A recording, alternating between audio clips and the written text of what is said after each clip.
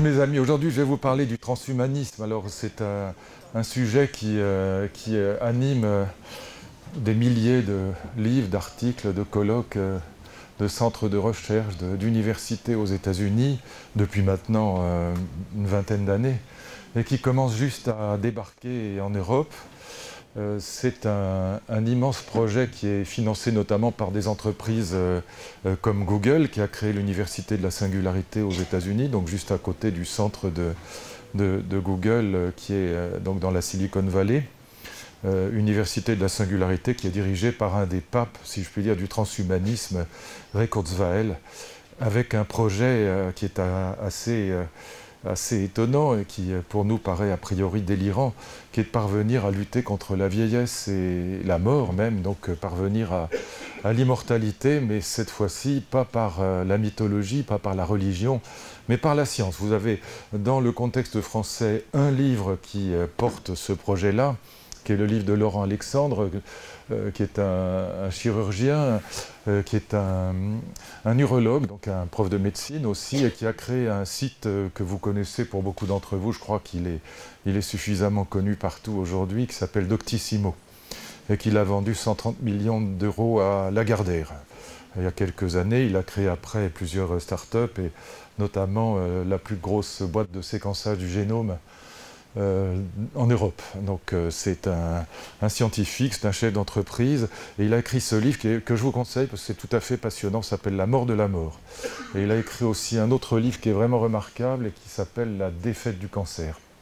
Donc ces deux livres de Laurent Alexandre qui sont euh, réellement passionnants. Après, évidemment, ça suscite beaucoup de discussions, euh, beaucoup de biologistes, de scientifiques. Euh, mon camarade Axel Kahn, par exemple, critique très vertement les, thèses de, de, Laurent Alexandre, mais il s'inscrit dans ce mouvement transhumaniste, donc qui a pour projet principal, encore une fois, de parvenir à éradiquer la vieillesse et la mort si possible.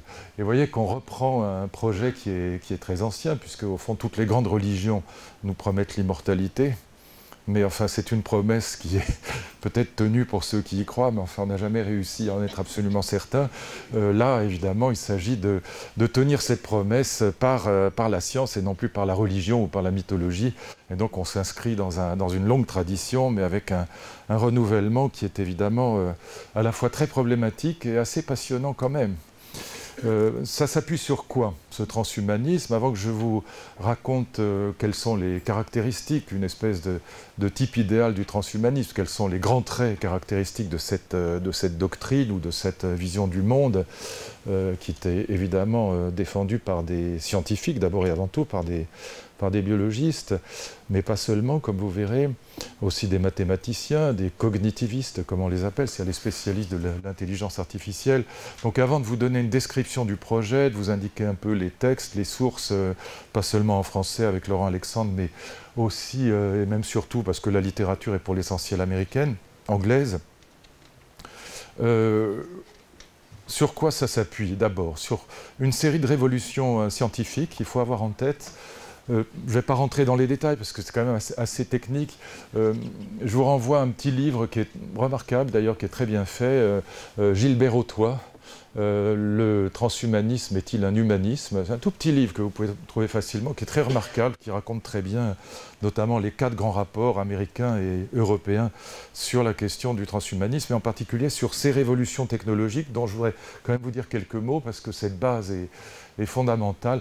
En gros, c'est aussi la même base pour beaucoup euh, de l'économie collaborative, de ce qu'on appelle l'économie collaborative. On parle beaucoup d'Uber aujourd'hui, mais enfin, il n'y a pas qu'Uber, il y a aussi euh, des milliers d'applications dans le même style, en particulier pour la France, euh, celles qui sont les plus connues, c'est Airbnb, Blablacar, Drivey, enfin il y en a beaucoup, mais celle-là, on en parle suffisamment, et Uber est peut-être la plus connue. Et ça s'appuie, cette économie collaborative, assez largement sur euh, la même plateforme des nouvelles technologies que le projet transhumaniste. Euh, avant de rentrer dans le projet, donc quelques mots sur ces révolutions. C'est ce qu'on appelle les NBIC. NBIC, ça veut dire euh, nanotechnologie. Et nanotechnologie, c'est absolument passionnant. Je vous renvoie au livre que j'ai fait faire par mon ami Étienne Klein qui s'appelle Le Small Bang. Euh, par opposition au Big Bang évidemment, et qui explique très bien ce que c'est que les nanotechnologies compliquées. Est-ce qu'il y en a un parmi vous qui est capable de me dire ce que c'est qu'un nanomètre? Je fais comme les vieux profs dans les classes, mais vous ne vous sentez pas terrorisé, enfin Oui, bravo, milliardième, c'est voilà. Et donc les nanotechnologies, elles travaillent sur le milliardième de mètre donc un objet euh, nanométrique, si je puis dire, bah, c'est un objet qui a un diamètre qui serait comparable à celui d'une noisette par rapport au diamètre de la Terre, ou pour vous donner une autre image, euh, c'est 50 000 fois plus petit le diamètre d'un objet nanométrique, 50 000 fois plus petit qu'un cheveu, que le diamètre d'un cheveu c'est vraiment.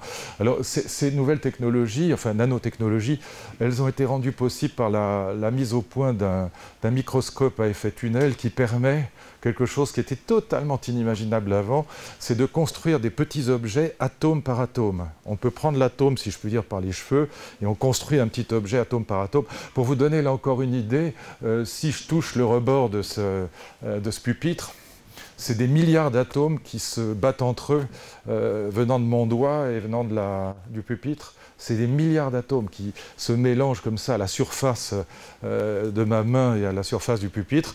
Et donc là, on peut construire atome par atome euh, des objets nanométriques, des petites machines, et ça a évidemment des conséquences inimaginables dans tous les domaines, mais en particulier dans le domaine médical. si vous voulez comprendre pourquoi, on fabrique maintenant des médicaments euh, euh, nanométriques. On est en train de travailler sur ces sujets. Et ils ont une caractéristique qui est assez étrange, qui est paradoxale, c'est que la surface des objets nanométriques, euh, plus c'est petit, plus la surface est grande. Euh, ça paraît tout à fait paradoxal. Pour le comprendre, mon ami Étienne Klein prend une métaphore que j'aime beaucoup. Il prend la métaphore d'une boîte de sucre. Hein, quand vous avez une boîte de sucre, euh, il faut avoir euh, en tête des boîtes un peu traditionnelles, des boîtes comme dans mon enfance. Vous avez une boîte rectangulaire avec à l'intérieur des morceaux de sucre qui sont eux aussi rectangulaires.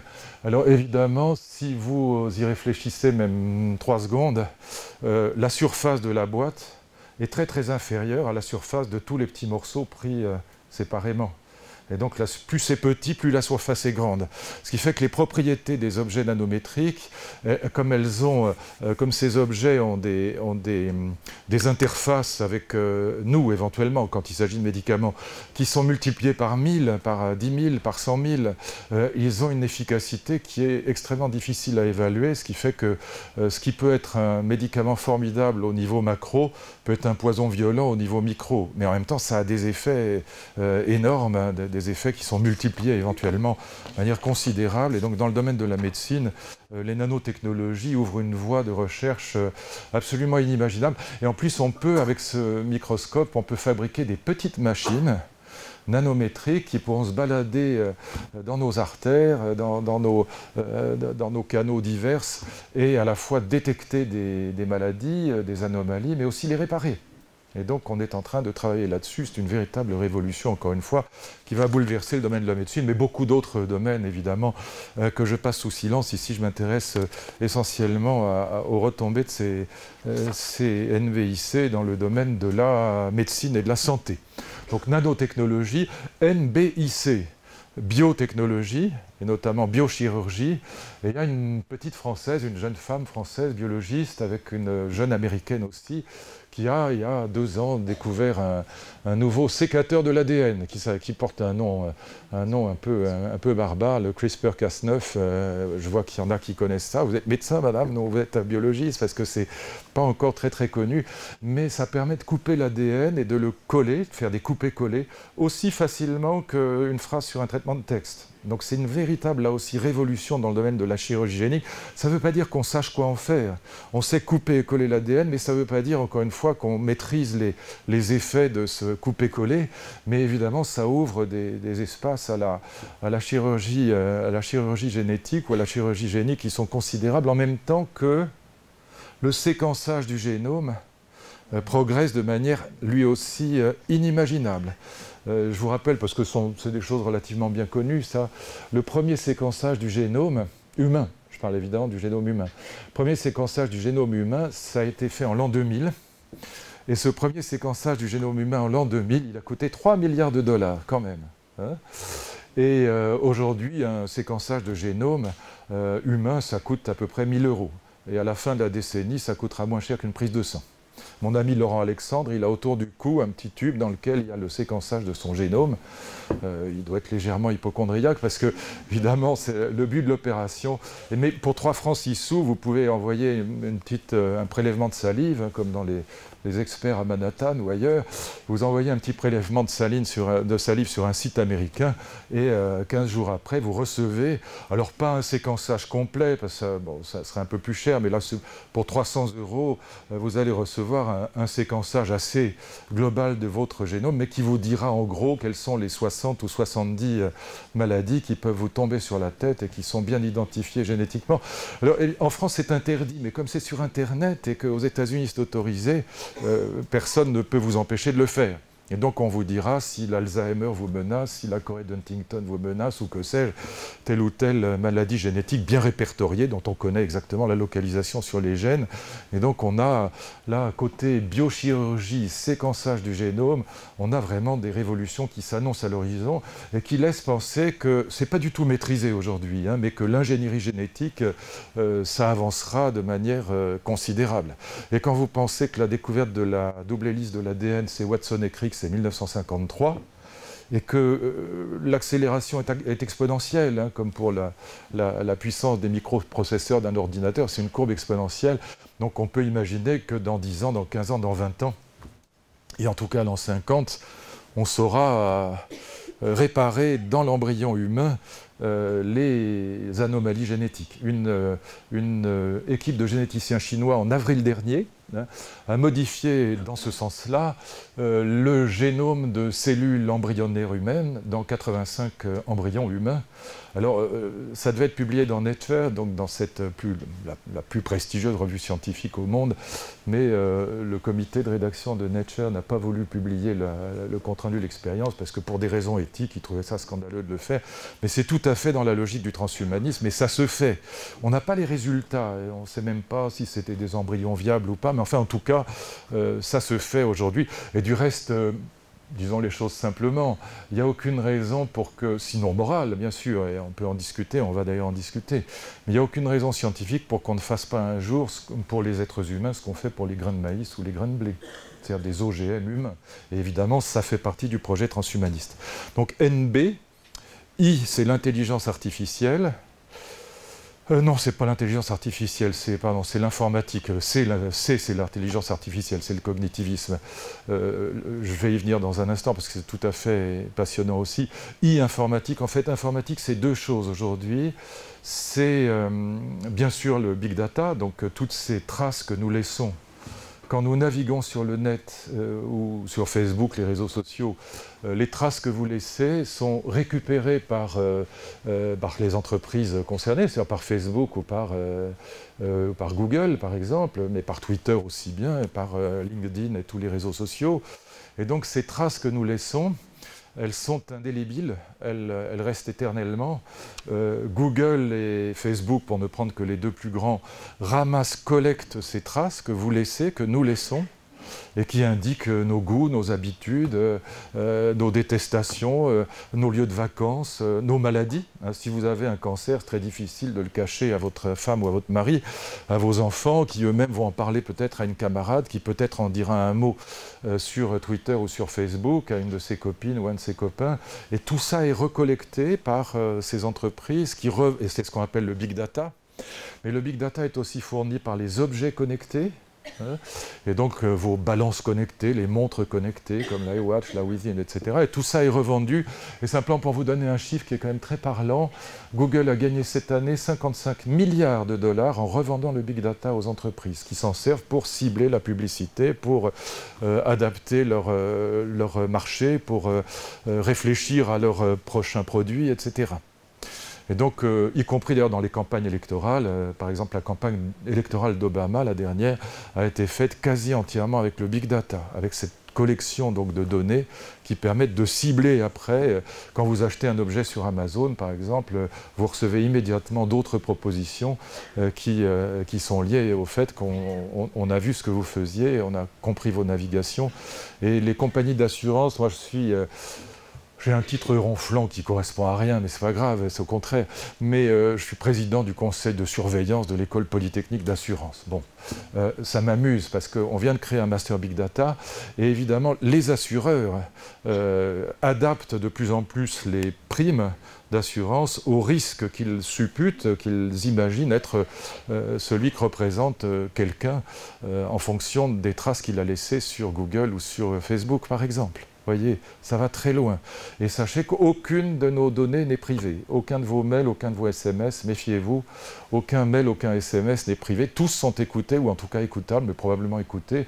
ça ne veut pas dire qu'on s'intéresse forcément à nous, mais enfin, vous avez vu que notre ancien président de la République ou Angela Merkel ont été écoutés malgré des des, BlackBerry euh, supposés protégés, tout ça n'est pas protégé, tout ça est écoutable, la NSA écoute tout, et donc euh, ce big data, encore une fois, est collecté par les, entreprises et les réseaux sociaux, les entreprises comme, Google et les, réseaux sociaux, et c'est revendu donc à des, data, avec, des entreprises qui, avec des data scientists, euh, avec du data mining, interprètent ces données et, encore une fois, s'en servent pour cibler les clients, notamment pour la publicité, mais pas seulement. Euh, I, c'est, j'ai dit big data, mais c'est aussi l'Internet des objets. L'Internet des objets, il y a aujourd'hui 15 milliards d'objets connectés dans le monde. 15 milliards, vous vous rendez compte? Il y en aura 80 milliards à la fin de la décennie et probablement plus de 300 milliards euh, en 2030. Et donc des, objets connectés, il y en aura partout. Il y en a dans vos chaussures, dans les murs, dans le parquet, dans les routes, dans les voitures, euh, dans votre chien ou votre chat, dans vos enfants. Ça permettra de les suivre. Il y en aura absolument partout. Et ces objets connectés, ils ont évidemment, on donne toujours l'exemple du frigidaire connecté. C'est un exemple idiot parce que le frigidaire connecté, on s'en fout en vérité que votre frigidaire s'aperçoive avant vous qu'il vous manque du beurre ou du jus d'orange et qu'il le commande directement au G20 franchement, on peut s'en passer. Ce n'est pas ce qui va bouleverser euh, notre existence. Mais il y a des usages de ces objets connectés, de ces capteurs, euh, sur les supply chains, par exemple, sur les chaînes de distribution, où on peut voir, euh, ou dans les transports, on peut voir à l'intérieur d'un container si les légumes sont en train de pourrir ou pas. ça permet aussi, il y, a déjà des entreprises qui, fonctionnent très très bien pour surveiller les personnes en grande dépendance chez elles.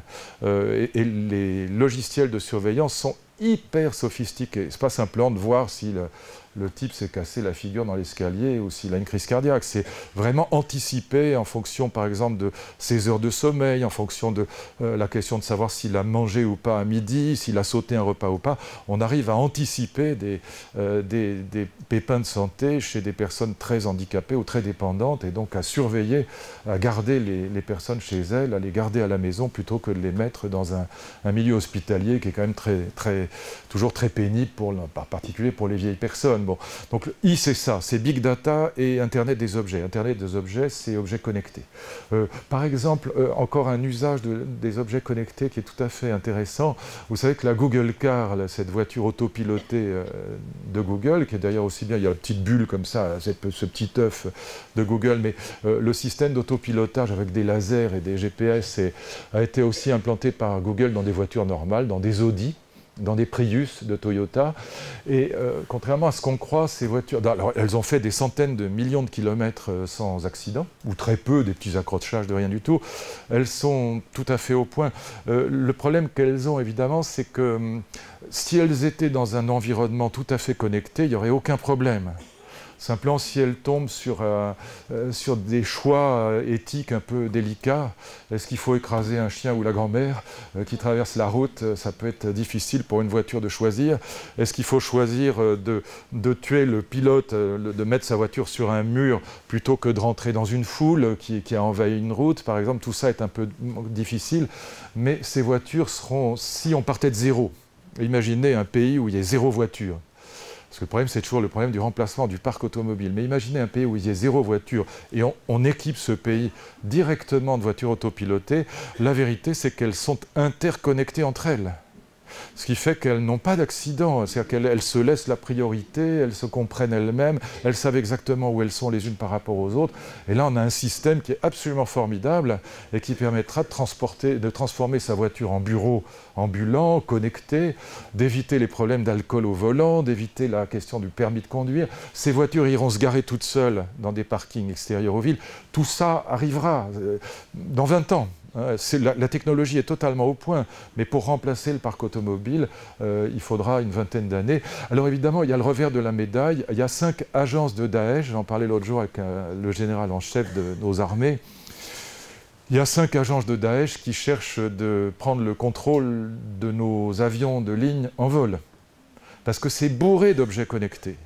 Et donc là, on a une course entre les, euh, les, carabiniers et les voleurs, si je puis dire, entre les terroristes et la police, euh, la cyberpolice, qui est extrêmement euh, ardue, pointue, difficile, dont on ne parle pas beaucoup, mais qui est un des enjeux majeurs de la sécurité aujourd'hui aérienne, hein, parce qu'on a réussi à prendre le pilotage, si je puis dire, le contrôle de voitures autopilotées, pourquoi pas les avions donc on a, vous voyez, c'est toujours la même chose. Euh, ces objets connectés, ces capteurs, ça peut être formidable dans la lutte contre la criminalité, contre le terrorisme, pourquoi pas. Mais euh, les terroristes ne sont pas plus bêtes que les flics, et même quelquefois un peu moins. Et donc on a là aussi un, revers de la médaille avec, euh, avec aussi, des, vous voyez bien, des problèmes qui intéressent la CNIL, les problèmes de de protection de la vie privée, de protection des données, de l'open data ou des données privées euh, considérable. C, intelligence artificielle, cognitivisme, N-B-I-C. Cognitivisme, vous avez vu que cette semaine, euh, l'ordinateur a battu le champion d'Europe du jeu de Go, ce qui est beaucoup plus difficile que les échecs. Les échecs, ça fait très longtemps que le champion du monde d'échecs est ratatiné par un ordinateur même de poche. Euh, ce qui est quand même assez impressionnant, parce qu'on aurait dit ça il y a 100 ans, les gens auraient hurlé de rire. Et là, on a quand même une intelligence artificielle, c'est ce qu'on appelle l'intelligence artificielle faible, curieusement. Et elle, bat aujourd'hui donc le meilleur joueur du monde aux échecs, aux jeux de Go, mais aussi aux États-Unis, c'est très amusant. Euh, l'ordinateur a battu euh, le champion d'un jeu qui s'appelle Géopardy, et qui est un jeu très très compliqué pour un ordinateur, parce que c'est un jeu en langue naturelle. Et donc c'est un jeu qui consiste à, donner une réponse et le, joueur doit trouver quelle était la question. Par exemple, je ne sais pas, je vous dis Danny Cohn-Bendit, et vous devez trouver la question était qui était euh, le leader de, je sais pas, des étudiants en mai 68, ou je vous dis n'importe quoi, mais c'est ça l'idée. Et cet ordinateur, euh, qui s'appelle Watson, comme euh, l'acolyte de Sherlock, cet ordinateur d'IBM, qui a battu donc le champion de Géopardy, eh bien, il est capable, tenez-vous bien, c'est quand même hallucinant, de lire 200 millions de pages de texte par minute voyez, et de comprendre ce qu'il y a dedans. Et ça s'appelle intelligence artificielle faible. voyez, c'est quand même assez fascinant. Hein. et il arrive à en tirer suffisamment d'éléments de compréhension pour battre euh, le gars qui est quand même le champion américain de ce jeu, ou, battre le champion du jeu de Go ou du jeu d'échecs. C'est quand même fascinant. Hein. et ça, encore une fois, c'est l'intelligence artificielle faible. La forte, c'est le grand idéal de, de Kurzweil, donc ce patron de l'université de la singularité, qui encore une fois est financé par Google pas des débutants. Euh, l'intelligence artificielle forte, c'est l'idée qui vient du matérialisme philosophique que, puisque pour les matérialistes, le cerveau, euh, le nôtre, n'est qu'une machine, certes extrêmement sophistiquée, parce que, je sais pas quoi, euh, si je remue le petit doigt, ça mobilise déjà 11 000 gènes, c'est un peu compliqué. Mais, euh, mais c'est une machine quand même. Pour un matérialiste, euh, la pensée n'est que ce qui est émis par notre cerveau. On n'est pas dans le spiritualisme dualiste où on dirait qu'il y a, d'un côté le corps et puis de l'autre côté l'esprit. Non, pour un matérialiste, la pensée n'est que l'émanation de cette machine sophistiquée, d'accord, mais machine quand même, qui est le cerveau l'idée de renverser la problématique, et, c'est le grand projet de, Kurzweil et, que finance Google, c'est d'arriver à fabriquer des machines qui soient non seulement capables de battre le champion du monde d'échecs ou de Go ou de, ou mais des machines qui soient capables d'avoir une vraie conscience et d'éprouver des émotions. Hein, euh, un peu ce qui se passe dans, Terminator, hein, quand Schwarzenegger à la fin finit par devenir aussi sensible qu'une jeune fille, mais, euh, euh, amoureuse. Mais euh, évidemment, pour l'instant, on n'a pas encore réussi. Pour l'instant, je vais vous dire la vérité, aucun ordinateur n'a réussi à franchir le test de Turing. Vous savez ce que c'est le test de Turing? On met quelqu'un, un humain, dans une pièce, dans l'autre pièce, on met je sais pas quoi, on discute, on demande à l'humain de discuter avec le... Pardon avec cette chose ou cet être qui est de l'autre côté, de, l'autre côté du mur, et il ne sait pas si c'est un humain ou un ordinateur. Et franchir le test de Turing, c'est quand l'ordinateur sera capable de discuter avec vous exactement de la même manière qu'un humain, de telle sorte en, en, tout cas que vous ne soyez pas capable de distinguer s'il s'agit d'un humain ou pas. Pour l'instant, euh, même l'humain le plus bête finit quand même par s'apercevoir que c'est un ordinateur. Alors évidemment, si vous prononcez le mot, je ne sais pas, je vous dis n'importe quoi, mais vous dites maman par exemple, l'ordinateur il va vous répondre comme un mauvais psychanalyste. Il va ah maman, ben voyons, euh, associe librement. Mais au bout d'un petit moment, ça, ça, euh, il se trompe si vous lui faites une blague. Il est, c'est très con un ordinateur. Ça peut battre le joueur d'échecs, mais sur les relations humaines, il n'est pas très bon. Et donc aucun n'a franchi le test de Turing. L'idéal donc de Kurzweil et de cette université de la singularité, ce serait de fabriquer une machine qui soit capable de franchir cette barrière et qui soit capable donc euh, d'avoir une vraie conscience et de franchir euh, et d'avoir des émotions. Mais, mais, mais, pour battre le champion d'Europe de jeu de Go, sachez quand même que euh, cet ordinateur qui a battu donc ce champion, il a, il a été capable d'apprendre par lui-même. En fait, c'est en jouant, c'est ce qu'on appelle le deep learning, l'éducation profonde, c'est en jouant contre lui-même qu'il a appris.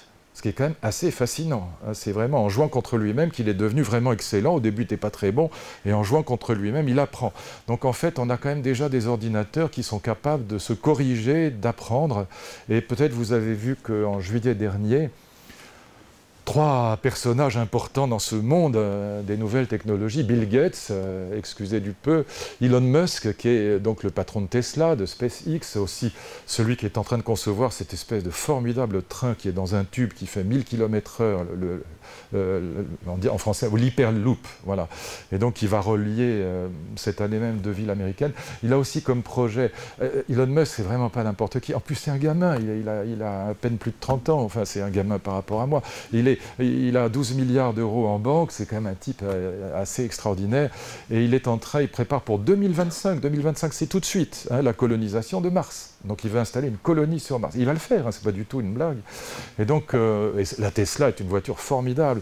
Et donc euh, Bill Gates, Elon Musk et, Stephen Hawking, prix Nobel de physique, ont signé en juillet dernier, j'ai là sous les yeux le texte, mais enfin je vais vous l'épargner, un, appel qui est signé par mille autres euh, chercheurs, savants euh, du monde entier, enfin beaucoup des États-Unis, contre l'intelligence artificielle. Hein. Euh, Stephen Hawking a déclaré que l'intelligence artificielle forte, si l'humanité l'inventait, eh ce serait la dernière invention de l'humanité, parce que cette intelligence artificielle forte nous détruirait.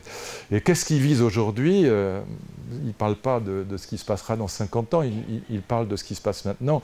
Il vise évidemment ces drones militaires qui sont capables, avec des algorithmes, de décider par eux-mêmes déjà sur qui ils doivent tirer, euh, qui ils doivent tuer ou ne pas tuer. Et donc, euh, il tire la sonnette d'alarme contre cet usage militaire de l'intelligence artificielle. Et joignant le geste à la parole, Elon Musk a mis quand même 10 millions d'euros euh, sur la table pour créer une fondation chargée de réfléchir aux problèmes éthiques posés par euh, l'intelligence artificielle aujourd'hui. Vous voyez que c'est un engagement fort. On ne met pas 10 millions d'euros comme ça, même quand on est très riche, si ce n'est pas un grand, un grand sujet. Je, vous signale aussi que sur la question du cancer, c'est très intéressant. Google s'est engagé à, régler, si je puis dire, à éradiquer le cancer sur cette planète d'ici 20 euh, ans, et notamment, notamment grâce au big data, parce que le big data permettra de comparer entre elles des milliards de milliards de cellules, et par conséquent de parvenir à des thérapies euh, ciblées, ce qui n'est pas le cas aujourd'hui, puisque les cellules cancéreuses mutent sans arrêt, on pourra les suivre, euh, les suivre, si je puis dire, et voir quels sont les médicaments qui marchent, euh, alors qu'aujourd'hui on, fait ça un peu à l'aveugle avec des, protocoles qui sont, globaux et qui du coup ne donne pas, enfin donne des très bons résultats sur certains, mais pas sur d'autres. Alors je, passe ça, mais ça c'est l'NBIC. Il faut que vous ajoutiez encore au, NBIC euh, quelques autres révolutions technologiques qui vont sous-tendre ce projet transhumaniste. Il y a les imprimantes 3D. Alors sachez que dès l'année prochaine, on imprimera, euh, on imprimera vraiment avec une imprimante, on imprimera des foies euh, des organes entiers, mais notamment des foies, pour faire des greffes de foie. Donc avec des imprimantes 3D, tout ça paraît surréaliste, mais on y est. Euh, donc on a, des organes imprimés. D'ailleurs, vous avez vu peut-être que le cœur de Carmat, là, du professeur Carpentier, c'est un cœur qui est mécanique, mais qui est tapissé de tissus organiques. Hein. On est dans l'hybridation, c'est donc un deuxième élément que je voulais évoquer en plus des NBIC, imprimante 3D, mais hybridation. Et l'hybridation, c'est probablement ce qui ira plus vite, le plus vite dans cette affaire de transhumanisme. Vous avez peut-être vu qu'il y a une, maladie euh, euh, qui s'appelle... Euh, oh, le, nom m'échappe, mais enfin c'est une maladie qui rend, de la rétine qui rend aveugle. Ouais, la rétinite pigmentaire. Et donc on, la soigne aujourd'hui. C'est une, une, compagnie allemande qui a donc inventé une puce qu'on greffe derrière la rétine et qui permet donc de transformer les signaux, de les envoyer au, cerveau, qui les retransforme en images. Peut-être vous avez vu cette euh, interview d'une jeune femme anglaise euh, qui était aveugle depuis l'âge de 5 ans qui s'est mariée, qui a eu deux filles, et qui, euh, grâce à cette puce implantée derrière la rétine, donc hybridation homme-machine, a, a, pu pour la première fois voir ses filles. Elle ne les avait jamais vues elle dit J'étais comme un enfant le jour de Noël, j'ai vu mes filles, j'étais bouleversée. Et ça redonne la vision. Alors, ce n'est pas une vision très très précise, c'est pas aussi bien qu'une vision euh, normale, si je puis dire, mais c'est quand même une vision euh, tout à fait déjà euh, remarquable et qui permet donc à cette femme de voir le, visage de ses filles, de voir si elle sourit ou pas, par exemple. Et donc, c'est assez fascinant parce qu'on est vraiment là dans l'hybridation homme-machine. autre innovation tout aussi fascinante, on peut commander maintenant les prothèses, par exemple un bras de prothèse mécanique, uniquement par la pensée. Euh, alors c'est pas de la, euh, c'est pas de la, transmission de pensée. C'est simplement qu'il y a des électrodes qui sont implantés dans les zones cérébrales qui commandent les actions. il suffit de penser. Et alors c'est fascinant. J'ai vu ça. Euh, le type qui a ce bras mais complètement mécanique arrive à prendre une tasse de café, à la boire sans en renverser par terre, uniquement en pensant à ce qu'il doit faire comme mouvement. Et son cerveau envoie les impulsions à ce bras mécanique pour voilà hybridation donc comme machine qui va aller très très vite, qui va c'est ce qui ira le plus vite. Euh, troisième ajout au NBC, la robotique, fascinante. Si vous avez vu l'excellente série euh, Real Humans, euh, série danoise absolument épatante, la robotique va très très vite, extrêmement vite. C'est un mélange au fond d'intelligence artificielle et de, mécanique. Et puis évidemment, le dernier point, c'est les cellules souches. Les, cellules souches, donc, qui sont, comme vous le savez, totipotentes, qui peuvent fabriquer ce qu'on veut et qui fabrique notamment de l'œil très bien, mais elle fabrique aussi du cœur, du foie. On a à Nice euh, cette année même euh, patché, euh, mis des patchs de cellules souches sur un cardiaque et ça refabrique du cœur. tout ça est encore en étalage de pierre, mais c'est NBIC plus imprimante 3D, robotique, hybridation et cellules souches ça va bouleverser, chers amis, j'en suis, euh, je suis pas moi qui le dis, c'est vraiment tous les biologistes aujourd'hui qui travaillent sur le sujet en sont convaincus, on va bouleverser le monde de la médecine davantage dans les 30 ans qui viennent que dans les 3000 ans qui précèdent. Ça va tout changer. Euh, lisez non seulement euh, Laurent Alexandre, mais par exemple Guy Valencien, très grand chirurgien, prof de médecine, Une médecine sans médecin, formidable livre qui a évidemment suscité des polémiques chez les médecins. Euh, non pas que le métier de médecin disparaisse, mais la part de la science et de la biologie va devenir très très importante par rapport à la clinique. Clinique, vous savez d'où ça vient? Clinein, penché. Alors il y a deux interprétations, c'est le médecin qui se penche sur le malade, ou alors c'est le, le, malade qui est penché, qui est alité et qu'on examine, mais en tout cas, la clinique c'est formidable pour contrôler. Mais si, comme c'est le cas aujourd'hui, on peut, par euh, une analyse de sang, détecter des cellules cancéreuses des années avant l'apparition des symptômes, la clinique ne sert à rien dans ce cas-là, à zéro. Hein. Et donc, euh, oui, c'est important la clinique évidemment, mais euh, les analyses médicales vont remplacer beaucoup d'éléments de clinique dans les années qui viennent grâce à ces huit révolutions qui sont en plus convergentes. Alors, euh, je, laisse ça de côté, je ne rentre pas davantage dans les détails, euh, qui sont d'ailleurs vraiment passionnants, mais euh, c'est la base, c'est NBIC plus les quatre révolutions que j'ai indiquées, et c'est ce qui a donné donc le, sentiment à, à, un certain nombre de scientifiques, de biologistes, qu'on allait enfin pouvoir lutter contre la vieillesse et pourquoi pas contre la mort. Jusqu'à présent, L'augmentation de la longévité humaine, qui a été très importante au XXe siècle, cette augmentation est liée en vérité non pas à l'ingénierie génétique, non pas à ces nouvelles technologies, mais au fait qu'on a éradiqué les morts précoces. Je vous donne les chiffres, sont quand même assez fascinants.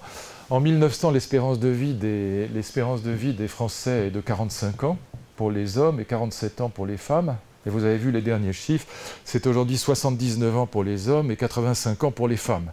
Euh, l'écart se rétrécit parce que les jeunes filles fument de plus en plus. C'est un des points essentiels que les, médecins observent, donc l'écart se rétrécit. Mais euh, néanmoins, par rapport à 1900, on a pris euh, pratiquement 40 ans d'espérance de vie en plus. Euh, en éradiquant les morts précoces pour l'essentiel. Puis grâce à la pénicilline, enfin, euh, oui, il y a une mort précoce. Quoi. Et donc, euh, découvrir des antibiotiques, tout ça a été évidemment fondamental. Mais là, l'idée des transhumanistes, c'est qu'on va améliorer l'être humain, on va le rendre plus fort, plus résistant, plus puissant, plus intelligent, ou en tout cas moins bête, et donc on va aller vers un humain augmenté. Et maintenant, je vous donne les traits, hein, les traits caractéristiques de cette vision du monde. Euh, on dit qu'un candidat transhumaniste à la prochaine présidentielle, pas celle-là, mais la prochaine, et c'est pas Donald Trump, c'en est un autre, euh, sera, présent dans la compétition pour représenter les couleurs de Google, de Facebook, euh, voilà, d'Eric Schmidt et de Zuckerberg. Et donc on a là une vision du monde qui se met en place, qui est parfois délirante. Si je voulais vous présenter le transhumanisme sous les espèces délirantes, je prendrais un recueil de citations à pleurer de bêtises. Hein. Mais c'est très sérieux en vérité. C'est-à-dire qu'à la fois vous avez des grands délirants dans le sujet, de la science-fiction débile, et puis en même temps vous avez des vrais savants. Euh, et, c'est très intéressant, évidemment, de voir qu'on peut présenter le transhumanisme des deux côtés. Euh, vous dis les choses comme je les pense. Euh, en fait, ce qui se passera avec ces nouvelles technologies, avant même que je vous raconte à quoi ressemble cette, doctrine, si on peut appeler ça une doctrine, en fait, on ira vers l'augmentation de l'être humain, non pas pour euh, euh, satisfaire les lubies d'un savant fou, euh, ce ne sera pas l'île du docteur Moreau ou docteur Labour ou Frankenstein, c'est pas ça qui se profile à l'horizon. ce qui se profile à l'horizon, c'est plutôt un rapport parent-enfant qui, par amour, euh, les parents aimant leurs enfants euh, tenteront d'éradiquer dans l'embryon, comme euh, sur le modèle de cette, expérience chinoise que j'évoquais tout à l'heure, sur 85 embryons humains, eh bien on tentera d'éradiquer dans l'embryon un certain nombre de maladies potentielles qui sont inscrites dans les gènes, parce que plus on travaille sur la génétique, plus on s'aperçoit que les maladies sont génétiques. Hein. La découverte du caractère génétique du cancer, c'est 87, mais avant on pensait que c'était viral ou que voilà, mais en fait, tous les cancers sont génétiques. Ça ne veut pas dire qu'ils sont héréditaires, mais ça veut dire qu'il euh, n'y a pas de cancer sans mutation euh, des cellules. Alors, les mutations peuvent être provoquées par des agents mutagènes, comme le tabac et l'alcool, qui d'ailleurs associés sont extrêmement mutagènes, mais euh, de toute façon, ce sont des mutations génétiques. Et qui, les, cellules cancéreuses, elles sont mutées, elles sont, modifiées, elles ont raté la photocopie. Alors, euh, je pense qu'on ira en vérité par amour et que les enfants, paradoxalement, pourront se révolter contre les parents s'ils n'ont pas fait ce qu'il fallait pour les rendre euh, plus résistants. Vous voyez, c'est ça, c'est une vraie problématique. Euh, si on a le temps, j'y reviendrai tout à l'heure parce que c'est le point que soulèvent les critiques du transhumanisme. Je voudrais évoquer aussi les critiques du transhumanisme. Il y en a, trois grandes aujourd'hui aux États-Unis, en Allemagne. En France, il n'y a pas grand-chose, il n'y a quasiment rien là-dessus. La critique de Michael Sandel, qui est le plus grand, plus célèbre en tout cas philosophe américain, Francis Fukuyama, euh, qu'on avait connu euh, sur d'autres terrains avec euh, le fameux thème de la fin de l'histoire et sa polémique avec Samuel Huntington sur le choc des civilisations. évidemment, en Allemagne, Jürgen Habermas, qui a écrit et publié un livre qui est d'ailleurs traduit en français sur ces questions, sur la modification de l'être humain. Bon, alors rentrons maintenant dans le vif du sujet, euh, car je ne vous ai encore rien dit. Euh, c'est quoi l'idée transhumaniste? L'idée de base, si vous voulez comprendre le projet, l'idée de base, c'est de passer d'un modèle euh, de la médecine qui est le modèle antique. Depuis toujours, la médecine a été animée par une volonté thérapeutique. Qu'est-ce que c'était qu'un médecin? Eh bien, c'est quelqu'un qui réparait, c'est quelqu'un qui soignait. Il y a une maladie, on essaie de la réparer. Et donc on était euh, dans un paradigme, dans un modèle médical qui était exclusivement thérapeutique. Eh bien, le projet transhumaniste, au fond, euh, dans la, philosophie grecque, on compare toujours le juge et, le médecin. Hein. De même que le médecin essaye de réparer euh, un organisme qui a été abîmé par un, agent pathogène quel qu'il soit, on ne parle pas de microbe à l'époque, mais enfin quel que soit l'agent pathogène, et eh bien de la même manière, le juge est celui qui essaye de réparer la cité quand elle a été abîmée, quand l'organisme social, le corps social, métaphore biologique, quand le corps social a été abîmé par un criminel, par exemple, ou une guerre. Et donc le juge et le médecin, c'était des, euh, des réparateurs, au fond, c'était des thérapeutes. eh bien, l'idée transhumaniste, c'est que ce modèle est obsolète et qu'il faut passer à, à, une vision nouvelle de la médecine qui est la vision de l'augmentation, amélioration. En anglais, ça se dit enhancement. Donc euh, on veut fabriquer un homme amélioré, un homme augmenté, comme euh, on parle de réalité augmentée quand on, braque son, smartphone sur un monument et qu'on voit apparaître euh, des images virtuelles, des petites bulles qui vous indiquent quel est l'architecte, quand ça a été construit, ce qu'il y a dedans, à quoi ça sert, etc. Réalité augmentée. Et donc il s'agit non plus de soigner l'être humain, mais d'augmenter l'être humain. Et il y a, disent les transhumanistes, toutes sortes d'intermédiaires entre la médecine traditionnelle, la médecine thérapeutique, et puis cette euh, médecine euh, augmentative, si je puis dire, improvement ou enhancement, par exemple la chirurgie esthétique. La laideur, quelle que soit la définition que vous en donnez, ce n'est pas une maladie. Euh, eh bien la, chirurgie elle esthétique, elle essaye bien. Je ne parle pas de la chirurgie reconstructive, c'est autre chose. Quand les gens ont eu un accident, bon, on essaye de euh, voilà, arranger les choses. Mais là, je parle, de, je parle vraiment de la, la, chirurgie esthétique euh, standard. Il s'agit bien d'augmenter l'être humain, il s'agit bien d'améliorer l'être humain. Encore une fois, la laideur n'est pas une maladie. Euh, tout ce qui lutte contre la sénescence aujourd'hui, c'est pareil. La, vieillesse, c'est emmerdant, mais ce n'est pas une maladie. Hein. Et donc là, les drogues, euh, je ne veux pas faire de blagues euh, bêtes, mais enfin le Viagra par exemple, il s'agit bien d'augmenter l'être humain. Et donc euh, on a bien les drogues d'une manière générale, dans les sports par exemple, c'est bien une visée augmentative, améliorative, ce n'est pas une visée thérapeutique.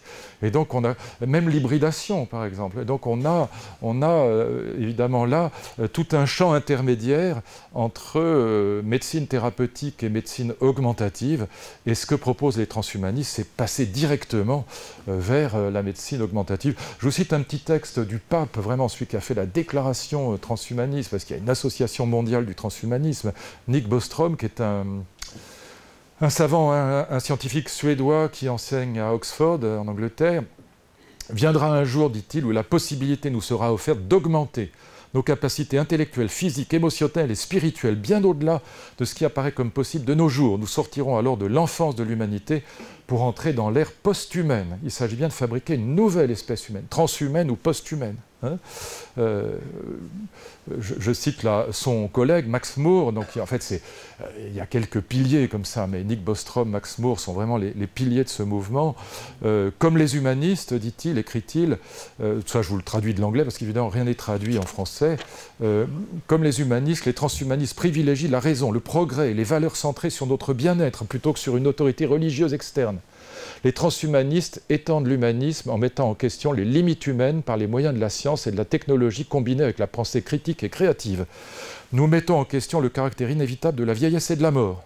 Nous cherchons à améliorer progressivement nos capacités intellectuelles et physiques ainsi qu'à nous développer émotionnellement. Nous voyons l'humanité comme une phase de transition dans le développement évolutionnaire, évolutionniste, je ne sais pas qu'il faut dire, de l'intelligence.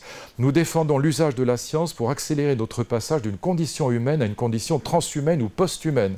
Comme l'a dit le physicien Freeman Dyson, l'humanité me semblait un magnifique commencement, mais pas le dernier mot. Nous n'acceptons pas les aspects indésirables de notre condition humaine. Nous mettons en question les limitations naturelles et traditionnelles de nos possibilités.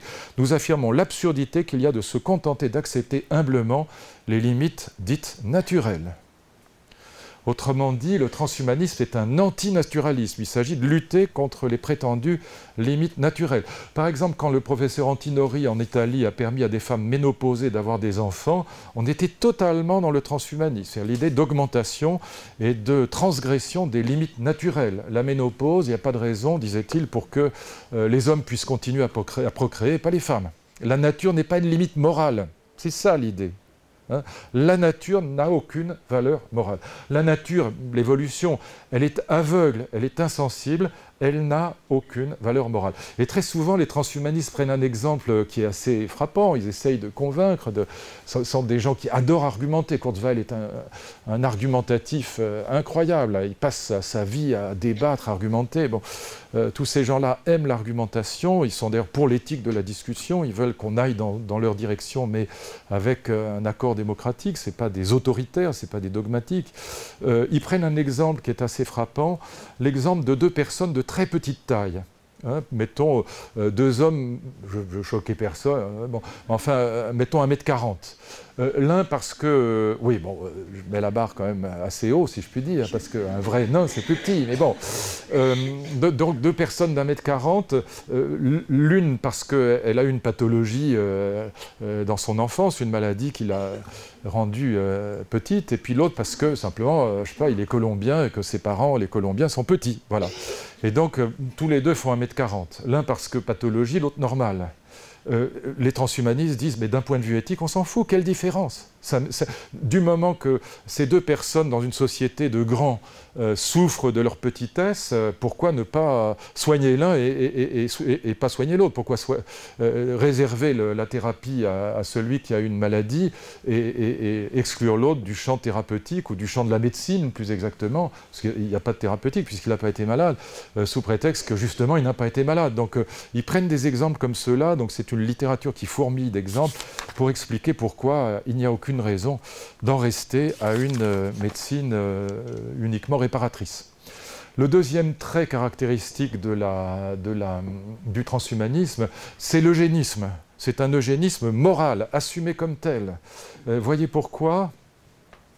Parce que en France, en Europe, d'une manière générale, dès qu'on dit eugénisme, c'est comme un réflexe de Pavlov. On dit oh c'est très mal, c'est le nazisme, etc. Testard, tout ça, on arrive avec des bardés de bioéthique anti-nazi, euh, réductio ad Hitlerum, donc ça marche immédiatement et tout le monde dit oh l'eugénisme c'est affreux. Bon, on oublie une chose toute bête, c'est que 97% des femmes qui ayant fait une amniosynthèse s'aperçoivent qu'elles ont un triso 21, 97% avortent qui est typiquement eugéniste, et en plus euh, éliminatoire. Là, c'est même pas de ça qu'il s'agit. Et donc on est quand même dans une hypocrisie totale. Il s'agit, pour reprendre le, titre d'un livre euh, qui est, vraiment le livre, s'il y en avait qu'à regarder celui-là sur le transhumanisme, qui est un livre collectif, il s'appelle en anglais From Chance to Choice, de la chance au choix livre qui est présidé, enfin qui est dirigé par un, certain, je ne sais pas comment ça se prononce, Buchanan, Buchanan, enfin ça s'écrit en français Buchanan, From Chance to Choice. Et donc, euh, l'idée du titre, vous la comprenez, euh, la chance, c'est quoi? C'est la loterie génétique. Euh, vous avez pas de bol, vous, avez la Corée d'Huntington, ça vous tombe dessus, c'est la, chance au sens statistique du terme, hein. c'est la loterie génétique. L'évolution, c'est le pur hasard, c'est aveugle, c'est insensible, c'est pas moral. Et donc ça vous tombe dessus. Vous avez la Corée d'Huntington, vous avez un gène de l'Alzheimer, vous avez tel ou tel gène de tel ou tel cancer, de telle ou telle maladie. Ben, c'est pas de bol, ça c'est la chance. La chance au sens, encore une fois, statistique du terme. Et donc il s'agit de passer de la chance au choix, et donc le but de l'ingénierie génétique, notamment de la, chirurgie génique, la modification du génome, quand on y arrivera, Hein, eh bien, c'est justement d'égaliser les conditions. C'est donc un eugénisme égalitaire, démocratique, qui ne vise pas à discriminer, qui ne vise pas à éliminer, mais au contraire à égaliser les conditions, à réparer en quelque sorte euh, euh, la mauvaise, euh, le mauvais choix, si je puis dire, la mauvaise chance, la mauvaise loterie que nous inflige la nature. Donc on est aux antipodes de l'eugénisme nazi. Il s'agit plutôt d'arranger, d'égaliser les conditions. C'est un, eugénisme égalitariste, si je puis dire. Il s'agit de réparer, euh, de corriger en quelque sorte. Alors c'est assez intéressant comme idée parce que ce que disent les transhumanistes, c'est que dans toute la tradition démocratique moderne, on a essayé de réparer les inégalités sociales. Et on les répare de l'extérieur. Par exemple, en France, on a créé des ZEP, Hein, des zones d'éducation prioritaire, on met plus de moyens dans les établissements qui sont dans des banlieues pourries, et donc euh, on met plus de profs, plus de surveillants, on met un peu plus d'argent, etc. Et donc on essaye de corriger les inégalités sociales de l'extérieur en rajoutant des moyens. Voilà, en gros, c'est ça les ZEP. Hein. Tandis que là, il s'agit de corriger les inégalités naturelles de l'intérieur, donc d'aller beaucoup plus loin, mais dans le même sens. Au fond, euh, ce transhumanisme se veut un humaniste, euh, un humanisme plus égalitaire et plus démocratique que l'ancien, puisqu'il va ajouter la correction naturelle, si je puis dire, à la correction sociale. Vous voyez l'idée. Hein. donc, euh, euh, l'accuser d'être nazi est idiot. Il y, a des très bonnes critiques du transhumanisme. Hein. Je ne euh, sais pas si j'aurai le temps de vous en parler, mais enfin, il y, a des vraies grandes critiques, mais c'est pas dire que c'est du néo-nazisme est idiot. C'est passé complètement à côté de la plaque. En plus, ce sont plutôt des gens qui viennent de, l'idéologie libertaire 68 art. C'est plutôt un mouvement qui se reconnaît dans le, ce qu'on appelle les libertariens aux États-Unis. C'est un mélange de 68 art et de néolibéralisme, un peu étrange, un peu, un peu spécial aux États-Unis. Mais enfin, ce sont plutôt des gens de gauche, si je puis dire, en tout cas qui ont été à gauche dans leur jeunesse et qui veulent réparer les atteintes de la nature. troisième élément, donc c'est un, un, humanisme, en vérité, en tout cas pour ce courant-là, il y a plusieurs courants dans le transhumanisme, et celui-là, représenté par ceux que je vous ai cités, par Max Moore et, et Nick Bostrom, c'est un courant qui se veut au fond un prolongement de l'humanisme traditionnel. Hein. et notamment, il y a une référence à Condorcet, euh, qui est assez fréquente, euh, notamment à l'esquisse d'un tableau historique des progrès de l'esprit humain, sur lequel j'ai passé la de philo il y a bien longtemps. il se trouve que c'est un texte évident que je connaissais par cœur de 1795, un texte hyper progressiste et républicain, Condorcet, un des papes de la République, euh, euh, la philosophie de la, République. Et le texte de Condorcet, il est tout à fait transhumain avant la lettre. Euh, je vais vous le lire parce que c'est assez, c'est très mal écrit d'ailleurs. C'est curieux de la part de Condorcet, très mal écrit, c'est parfois à la limite du compréhensible, mais on voit quand même ce qu'il veut dire.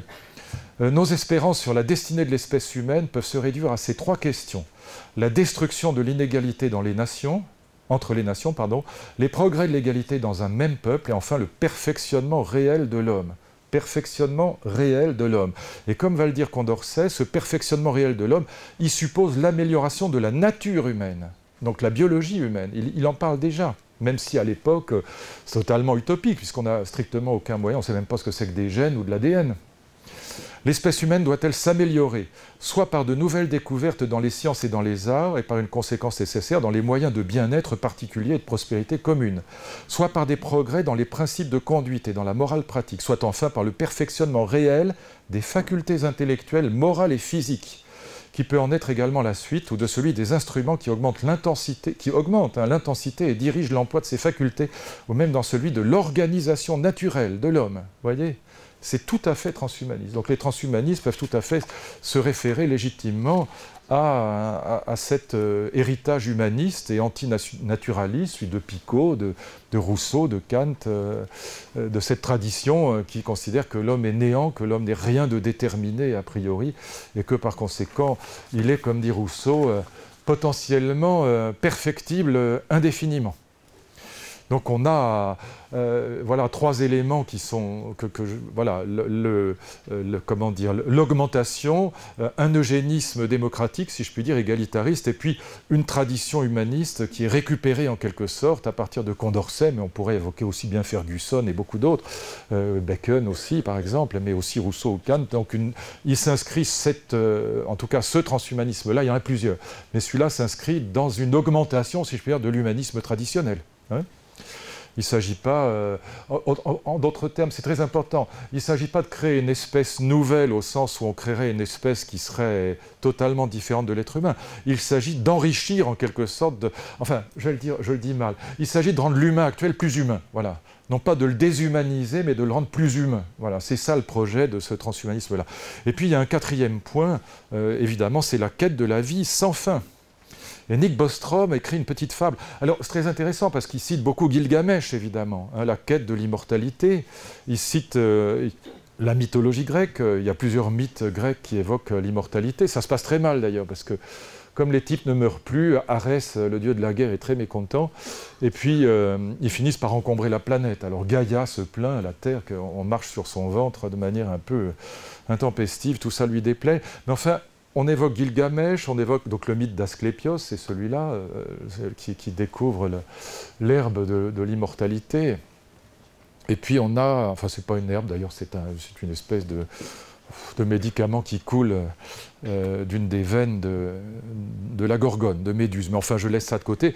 Et puis évidemment, les grandes religions. Jésus nous promet l'immortalité. Euh, pas sur terre, mais enfin quand même. Donc, malgré tout, l'idée est quand même la vie éternelle l'idée que la mort absolue, c'est pas acceptable et qu'on veut retrouver les gens qu'on a aimés après la mort et qu'on va les retrouver si on a été sage et qu'on a obéi au commandement divin. C'est quand même l'idée. Hein.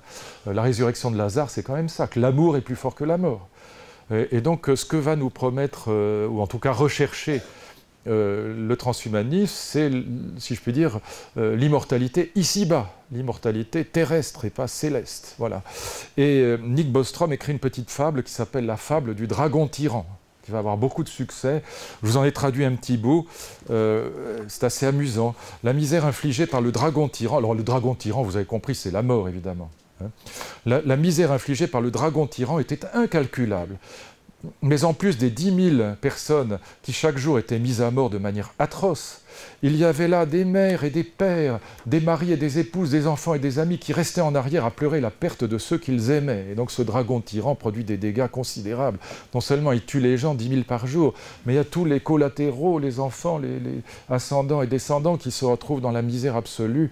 Et puis alors, soit il les dévore tout de suite, Bon, ça, c'est pas le pire, mais quelquefois, il les laisse crever lentement avant de les manger dans un antre obscur. Évidemment, ça vise l'hôpital et la maladie. Hein. Tout ça est très bien décrit. C'est une petite fable, ça fait une trentaine de pages, c'est assez amusant. Et puis après, il montre comment euh, les humains vont adopter face au dragon tyran euh, toutes sortes d'attitudes. Euh, il y a d'abord la colère, et puis ensuite, il y a la collaboration, la soumission. Après, il y a l'invention débile des religions qui prétendent que le dragon tyran n'est pas grave parce qu'on vivra après. Enfin bon, et donc il, décrit toutes les stratégies des humains par rapport à la mort, et puis il finit par cette conclusion euh, que, j'aime bien finalement. Les histoires consacrées à la vieillesse se sont traditionnellement centrées sur le besoin de s'en accommoder. Hein, le Bouddha, Frédéric Lenoir, tout ça. Les histoires consacrées à la vieillesse se sont traditionnellement centrées sur le besoin de s'en accommoder, de s'y accoutumer avec humilité et gratitude.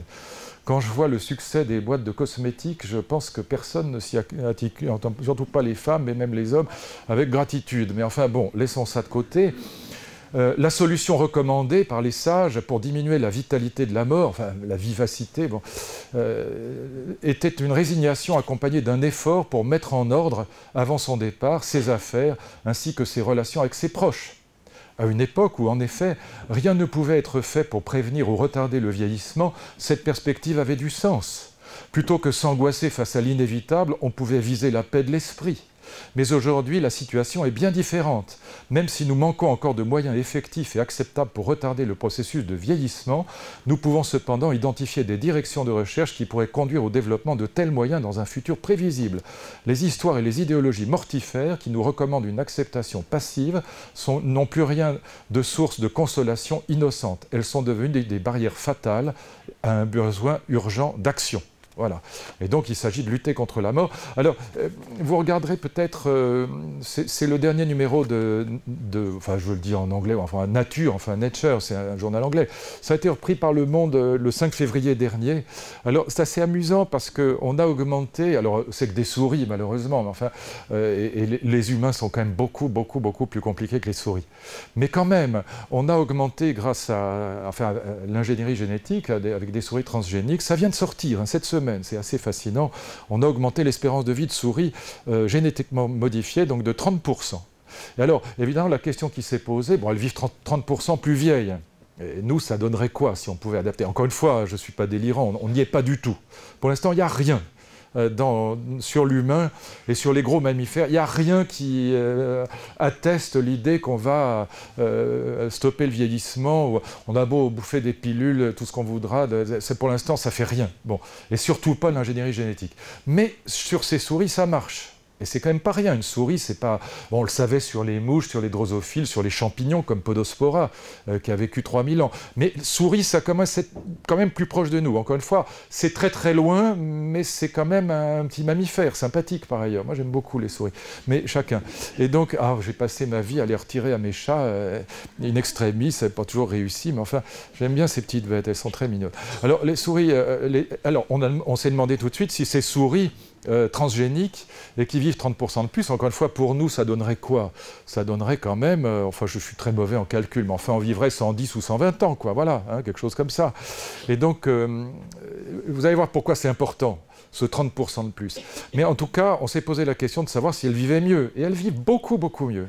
Elles, n'ont aucune des maladies de la vieillesse. Alors, je vous lis le texte de Netter. Elles ont, euh, alors, euh, à 22 mois, les souris apparaissent en bien meilleure santé. Leur activité comme leur capacité exploratoire sont mieux préservées. Et elles, ne souffrent moins de la cataracte. Ça peut servir. Elles sont également euh, moins touchées par des pathologies cardiaques, rénales ou graisseuses, typiques du vieillissement. Enfin, le déclenchement des cancers est retardé. Tout va bien, quoi. Donc 30% de plus et en meilleure santé. Donc d'ici que ça nous arrive, qui sera contre? C'est ça le transhumanisme. Parce que j'entendais une journaliste, je vais taire son nom par charité, dire le cauchemar transhumaniste. Mais attendez, c'est des conneries. Si jamais euh, vous étiez. Alors il y a des fatigués de la vie, il y a des suicidaires, très bien. Mais si vous pouviez vivre. Mais c'est vrai, il y en a. Mais si vous pouviez vivre comme ça, 30% de plus, 30 euh, ans de plus en meilleure santé, euh, qui d'entre vous dira non? Et avec moins de rides et moins de cheveux blancs et toute cette sorte de choses. Et même en gardant les cheveux. non, pardon. Donc évidemment, c'est quand même, c'est ça le transhumanisme. C'est comme ça que ça marchera. C'est pas, c'est pas un savant fou qui va vouloir fabriquer des monstres hybrides. C'est pas ça. Il y en aura peut-être, mais c'est pas le projet. Le projet, c'est vraiment d'améliorer, voilà, euh, l'espèce humaine. Et donc moi, j'aime bien cette histoire de souris. Alors Laurent Alexandre. Euh, il termine souvent ses conférences, allez voir sur YouTube, en plus il a l'air toujours extrêmement euh, il fait peur parce qu'il a l'air comme ça d'un grand bargeau quand même. Et alors avec la mort de la mort, il termine ses, conférences en disant toujours et peut-être que l'enfant qui vivra mille ans est déjà dans cette salle. Bon, évidemment tous les, biologistes se marrent en disant le type est tombé sur la tête et il est devenu cinglé. Pas du tout. Ils comprennent pas ce qu'il veut dire. Ce que veut dire Laurent Alexandre, c'est que c'est c'est comme une course de relais. Euh, si vous avez un enfant aujourd'hui, en gros, il vivra, euh, allez, arrondissons, il va vivre jusqu'à 100 ans. Hein, s'il ne passe pas sous l'autobus, s'il n'a pas un, cancer fatal du pancréas ou que sais-je, il, ira jusqu'à 100 ans. Bon. Euh, mais ce que dit Laurent Alexandre, c'est que quand il arrivera à 80 ans, c'est-à-dire dans 80 ans d'ici, Vu les progrès qu'ont fait les sciences depuis 1953, qu'on a découvert la double hélice de l'ADN, euh, on peut imaginer que, euh, en plus avec l'hybridation, avec les thérapies euh, cellules souches, on peut imaginer que votre gamin, allez, on le prolonge jusqu'à 130 ans, peut-être même 140. Et s'il arrive à 140, alors là, évidemment, il y a des bonnes chances pour qu'on l'emmène jusqu'à 200. Et s'il arrive jusqu'à 200, on ne pourra pas l'empêcher d'aller jusqu'à 1000. C'est ça l'idée, vous voyez. Et donc le, raisonnement n'est pas... Évidemment, on n'y est pas du tout. Encore une fois, je suis pas... Moi, j'aime beaucoup la biologie, j'ai beaucoup travaillé, j'ai suivi des cours de biologie sérieux pendant trois ans, donc je sais très bien qu'on est à des années-lumière. Puis il y, a un truc qu'on répare mal, c'est le cerveau. Euh, c'est vraiment l'organe qu'on n'arrive pas à, réparer. Il est très très compliqué. On arrive à réparer à peu près tout, euh, on y arrivera sûrement. Mais le cerveau, ça reste vraiment le, problème euh, numéro un. On n'arrive pas à le réparer facilement, ce truc-là, et c'est quand même le plus utile. Mais bon, euh, voilà, c'est l'idée que, euh, vous voyez, ce qui, rend crédible, c'est, enfin, ce qui donne une crédibilité, encore une fois, si on veut s'amuser à désinguer le transhumanisme, je peux le faire, il n'y a rien de plus facile. Mais ce qui donne une certaine crédibilité, c'est quand on voit des entreprises comme Google, ils mettent des centaines de millions d'euros. C'est quand même pas, c'est ni des philanthropes ni des débutants. Donc euh, euh, ils y pensent. Alors je passe les... Il y a, d'autres traits, mais je les, passe de côté. Il y a des traits politiques. Euh, la visée, c'est le bonheur, sont des utilitaristes. Il y a des... sont des libertariens, donc ils sont très néolibéraux, très souvent, d'ailleurs comme Laurent Alexandre, c'est à la fois un chef d'entreprise et un médecin. je, voudrais évoquer simplement quelques critiques du, transhumanisme pour que vous ayez l'idée des réactions que ça a suscité. Alors pas en France, il n'y a rien en France. Mais aux États-Unis, en Allemagne, encore une fois, il y a une littérature innombrable sur le sujet. Surtout depuis que Google s'est engagé et que, évidemment, le type se dit créer cette université. Donc les gens euh, se disent. Alors il y a eu des rapports euh, très importants, des discussions au Congrès extrêmement importantes, et notamment euh, Michael Sandel et Fukuyama ont fait partie de ce, deuxième comité d'éthique, si on peut dire, qui avait été créé par George Bush et qui a beaucoup réfléchi aux problèmes éthiques posés par le transhumanisme.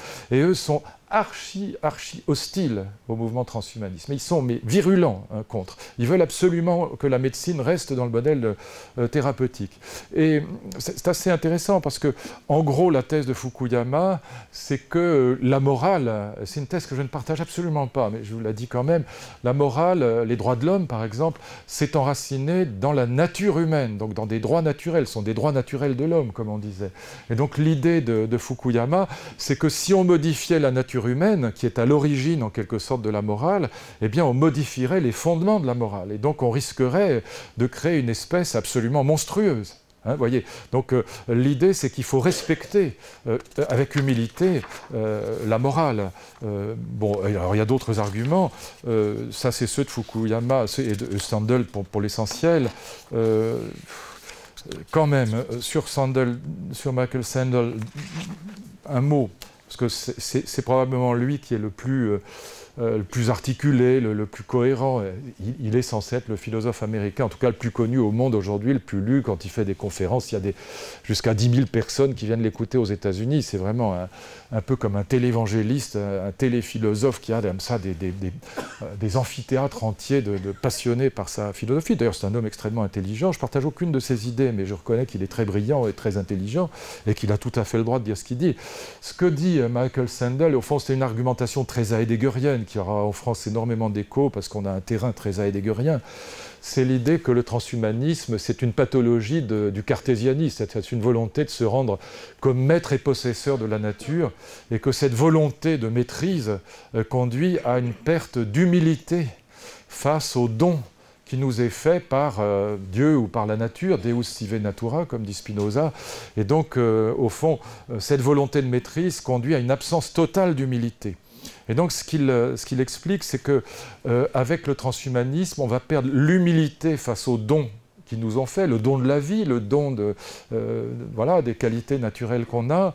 On va perdre l'humanité, on va perdre l'innocence et on va perdre la solidarité. C'est ces trois grands thèmes Humilité, innocence, solidarité. Euh, humilité, on voit pourquoi, parce qu'on est des cartésiens fous qui veulent tout maîtriser. On veut maîtriser non seulement la société, mais maintenant la nature. On veut aller donc de la chance au choix. Et donc il critique ce livre de Buchanan.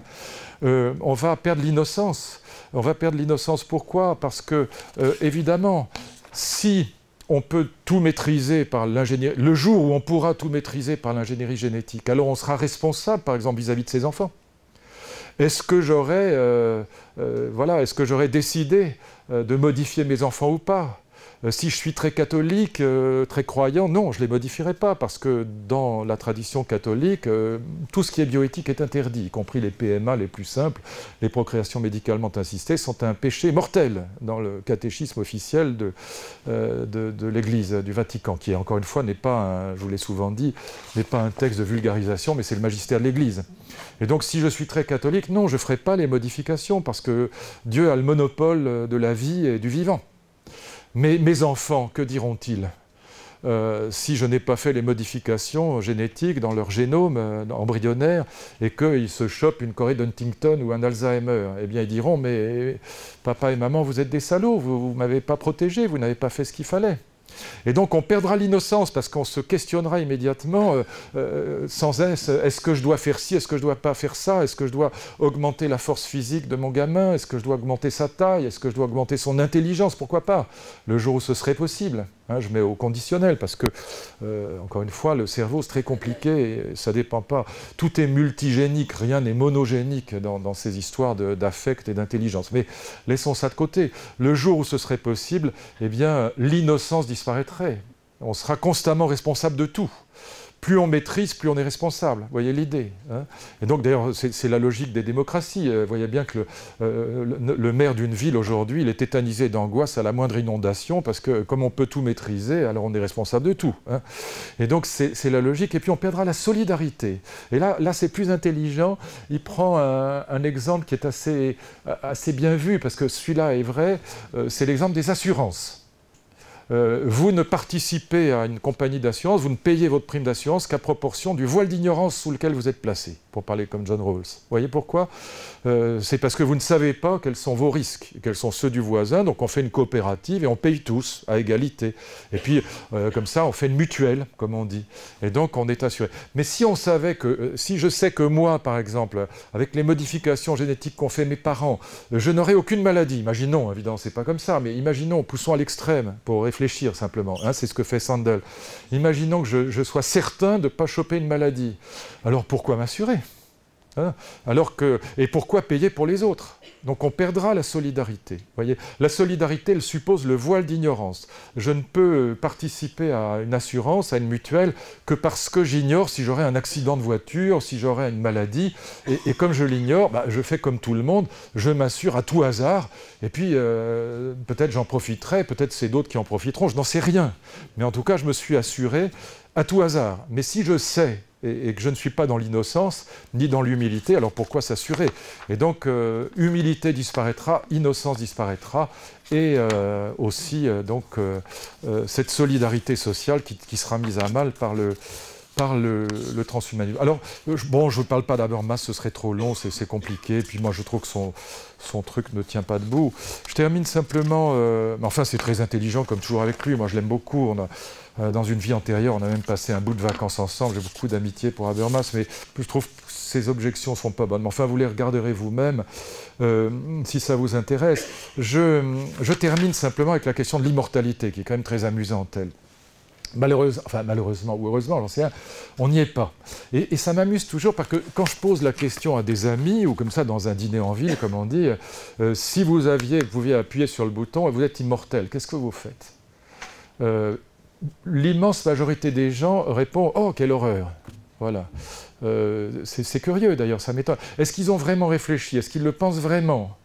Euh, voilà, est-ce que, euh, demandez-vous en vous-même, est-ce que vous aimeriez ou pas être immortel hein, Comme la vouivre dans le roman de Marcel Aimé, est-ce que vous voudriez être immortel euh, Et beaucoup de gens disent non, très spontanément. Non, l'horreur, le cauchemar transhumaniste, c'est affreux. Bon. Euh, voilà. Euh, question euh, qu'on doit se poser. Pourquoi on se la pose? Moi, je réponds oui sans aucune espèce d'hésitation. Je suis complètement mégalomane, donc je serais ravi de vivre encore une éternité. J'ai plein de bons livres à écrire, plein de jeunes filles à aimer. Enfin bref, tout ça. Mais oui, mais je pense que moi, je suis très, très rousseauiste là-dessus. Je crois vraiment à la perfectibilité humaine. Il y a 11 millions de volumes à la Library of Congress.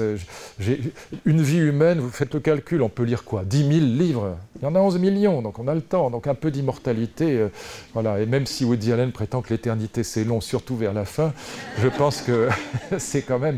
Euh, moi je prends. Voilà. Et je pense qu'il y a mille choses à faire. En plus, je pense. Bah, euh, voilà. Et puis, il n'y a qu'à réfléchir à l'envers. Quand on vous annonce le cancer du pancréas, comme à mon ami Josie Fers l'autre jour, eh ben, on préférerait être immortel plutôt qu'avoir cette saloperie. Là, on n'hésiterait pas un millième de seconde. On n'a aucune envie de mourir quand on est.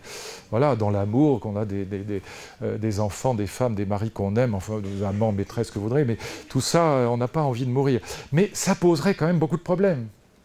Et juste, je termine là-dessus. Quel problème ça poserait l'immortalité? Et c'est pour ça qu'Elon Musk veut coloniser Mars. Hein, c'est pas du tout. C'est lié à ça. Premier problème que ça poserait, évidemment, c'est le problème démographique énorme problème démographique très rapide. Avec un sous-problème démographique, euh, ce serait pire que la Chine, c'est-à-dire qu'on n'aurait pas le droit d'avoir des enfants. Il faudrait payer en quelque sorte une, une mort par une, naissance. Euh, ou une naissance par une mort. Et donc euh, on, serait dans un monde sans enfants et un monde qui deviendrait démographiquement intenable, sauf en effet comme Elon Musk à aller installer des colonies sur Mars il va le faire en 2025, il va le faire parce qu'il a pour l'instant toujours réussi ce qu'il faisait. Et donc on a évidemment un problème démographique énorme euh, qui qui nous frappe de, plein fouet. Quoique, après tout, un monde sans enfants, ça peut être aussi le bonheur absolu. Mais enfin, chacun. et oui, voilà, ouais, c'est toujours. Euh, non, mais je, présente toutes les choses, évidemment, parce que c'est euh, une vraie. Je trouve que c'est un vrai. Euh, imaginez que ça devienne possible, ou en tout cas qu'on vive même 200 ans, par exemple. ça changerait singulièrement la question de, du régime de retraite, par exemple. Et donc, on, mais c'est pas une blague, parce qu'on on va y arriver, je pense, très, très vraisemblablement. Pas tout de suite, encore une fois, pour l'instant, rien ne permet de le dire. Mais rien ne permet de dire non plus le contraire.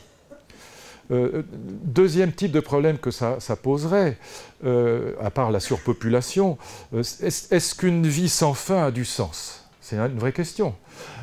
un livre sans fin, une musique sans fin, un film sans fin n'aurait pas de sens. Il y a une chute. Alors on peut aussi imaginer qu'il y ait plein de chutes, qu'il y ait plein, de, d'histoires, mais euh, voilà, c'est une problématique euh, évidemment très, euh, très réelle. Est-ce qu'une vie sans fin, est-ce qu'on ne finirait pas par s'ennuyer? Est-ce qu'on ne finirait pas par avoir vécu tout ce qu'on peut vivre? Est-ce qu'on se lèverait encore le matin pour aller au bureau ou je ne sais pas où? Est-ce que la paresse ne s'emparerait pas de nous de manière absolument dramatique? Je ne sais pas. En tout cas, ce sont des questions comme ça qu'on est obligé de se poser. évidemment aussi, il y a une troisième problématique qui est très présente chez les transhumanistes, parce qu'ils ne sont pas idiots, ils voient bien les problèmes que ça pose. On aura plusieurs humanités sur la planète. Et ça, c'est une vraie question. Exactement comme au temps de Néandertal et de Cro-Magnon, et on sait ce que Cro-Magnon a fait à Néandertal aujourd'hui, il l'a exterminé. Parce que Néandertal était moins intelligent, tout simplement. Et donc Cro-Magnon lui a fait la peau, euh, tout bêtement. Euh, en tout cas, c'est l'hypothèse qui est privilégiée aujourd'hui par les anthropologues. Mais ce qui est très vrai, c'est qu'on aurait assez rapidement, euh, Laurent Alexandre évoque, ce problème-là tout au long de son livre, on aurait rapidement deux humanités. Une humanité qui aurait profité des nouvelles technologies et qui vieillirait beaucoup moins vite et qui serait en bien meilleure santé et qui serait beaucoup plus forte. Et puis vous auriez une humanité normale avec peut-être des différences euh, aussi économiques parce que tout ça coûtera cher. Hein. et donc, euh, si on se retrouvait dans une situation où on a Néandertal d'un côté, Cro-Magnon de l'autre, avec des êtres hybrides extrêmement forts, extrêmement intelligents, avec des puces partout et capables de, euh, réfléchir comme l'ordinateur qui bat euh, le champion du monde d'échecs ou de jeux de Go, et puis d'autres qui resteraient des petits humains normaux, vieillissants et très bêtes, eh voilà, on aura évidemment un problème d'inégalité, non seulement sociale, mais d'inégalité économique. Et donc, on a là, évidemment, toute une série de questions qui se posent autour de de cette euh, problématique de l'immortalité, qui sont des questions qui renouvellent à la fois euh, la religion et la mythologie de manière euh, amusante ou effrayante selon qu'on est optimiste ou pessimiste. Je vous laisse réfléchir avec ça. Mais en tout cas, sachez que toutes les tentatives de ridiculiser le transhumanisme, parce qu'au début, on s'est marré, ont échoué et qu'aujourd'hui, donc les quatre grands rapports, notamment les deux derniers qui ont été émis par l'Union européenne, par la Commission pour l'un et par le Parlement pour l'autre, directement sur les NBIC et le transhumanisme, prennent évidemment cette euh, problématique euh, d'ingénierie génétique en particulier euh, extraordinairement au sérieux parce que euh, des euh, centaines, peut-être des milliers d'équipes de recherche y travaillent dans le monde avec des financements qui sont aujourd'hui colossaux. Et donc on pense qu'il est possible que cette science-fiction devienne assez rapidement réalité et que les problèmes éthiques que posent Sandel, Fukuyama ou Habermas, eh bien, il faille les poser dès aujourd'hui parce qu'il faut anticiper sur l'avenir. Je termine avec un dernier point, je vous laisse en paix. Ce qu'on touche là, c'est les limites techniques de la démocratie. Parce que ces sciences, ces technologies, elles sont extrêmement sophistiquées, extrêmement difficiles à comprendre. Les nanotechnologies, par exemple, vous pouvez passer une vie de chercheur entière à essayer de comprendre de quoi il s'agit. Euh, la, génétique, évidemment. Chacune, l'intelligence artificielle, très compliquée. Le big data, quand on parle avec un data scientist, on s'aperçoit à quel point le, niveau de mathématiques est très très élevé. Mais pas seulement de mathématiques, l'intelligence des algorithmes, c'est très compliqué. Et donc chacune de ces petites technologies prises isolément peut suffire à, à épuiser la vie entière d'un chercheur, tout en ensemble, personne n'y arrive. Et voyez bien que du coup, les démocraties euh, sont... En plus, ça va très très très très vite, très technique et très rapide. Donc nos démocraties sont complètement incapables de réguler ça. Elles arrivent comme les carabiniers. Hein. Et donc, euh, il y a un type qui s'en occupe à l'Assemblée nationale, c'est Jean-Frédéric Poisson, qui connaît bien ça, parce que c'est aussi, je vous en parlerai la prochaine fois, euh, la prochaine fois on aura une petite réunion avec Raffarin, puis la fois d'après je vous parlerai de l'économie collaborative, donc Uber et les autres, c'est les mêmes plateformes, alors pas biologiques, mais informatiques et, et, cognitivistes, c'est les mêmes plateformes qui rendent possible l'économie collaborative, c'est absolument passionnant d'ailleurs, passionnant aussi, mais nos politiques sont complètement dépassées, c'est pas entièrement de leur faute, parce que ça supposerait de leur part un investissement intellectuel, euh, il faudrait qu'ils soient déjà transhumanisés pour y arriver, les pauvres. Et donc, ils ont de la marge. Et donc, euh, s'il y avait un terreau écrit à l'Assemblée nationale, ne serait-ce que sur Big Data et Internet des objets, je pense qu'il serait intégralement, peut-être 4 ou 5, euh, voilà, pourrait répondre, simplement dire ce que c'est même, mais il serait complètement largué. Donc de là à réguler, euh, regardez ce qui se passe sur Uber, euh, le seul truc qu'on trouve à mettre le pied sur la mèche en, essayant de calmer les taxis parce qu'ils sont plus, ils sont plus casse-pieds que les Uber, mais c'est idiot, vouloir interdire Uber, c'est comme arrêter l'Amazon avec une passoire à thé, ça n'a pas de sens, on n'y arrivera pas, ça n'a strictement aucun sens, en plus ça ne rend service à personne, à part aux taxis dont tout le monde se fout sauf les chauffeurs de taxi, tout ça est idiot. Mais nos politiques sont à des années-lumière de pouvoir intégrer ces problématiques. Et encore une fois, on touche un vrai problème démocratique, un vrai problème de limite technologique de la démocratie. Merci de votre attention.